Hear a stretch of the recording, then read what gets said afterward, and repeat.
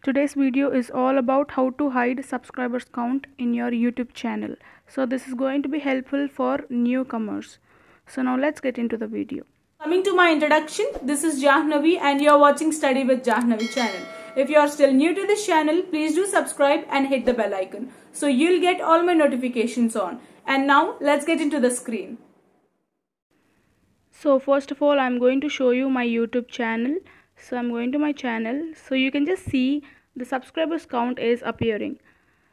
So i just wanted to hide my subscribers count. So what we all need to do is go to google chrome and now search for youtube.com after searching for youtube.com you can just see three dots. Just click on that and go for desktop site.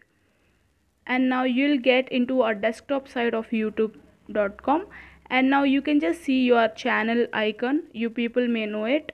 So just click on that and go for youtube studio. And then you'll get a dashboard like this. So in your dashboard you'll have a settings gear icon. So i'll just zoom it. Yeah settings gear icon. If you just click on that you'll get a pop-up like this.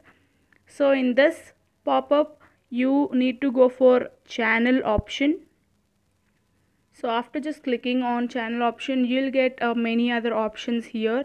So these are many other options you need to go for advanced settings. And here you can just see subscriber count. So the checkbox is ticked. If you just off that checkbox and it is done. So just click on save option. It just takes a couple of seconds and it will be saved. Yes the settings is being saved and now if you just come back and you check in your youtube account so you will be having like this. The subscribers count is hide. Okay this is the thing where you can just hide and this is going to be definitely useful for you all.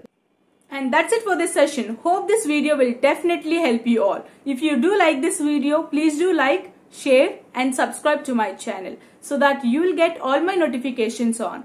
And if you have any queries or any suggestions, you can just comment us below or you can just mail us. The mail will be displaying on the screen and also given in the description box. And also linked the social media links in the description box. Go through the links and follow us on social media. Thank you.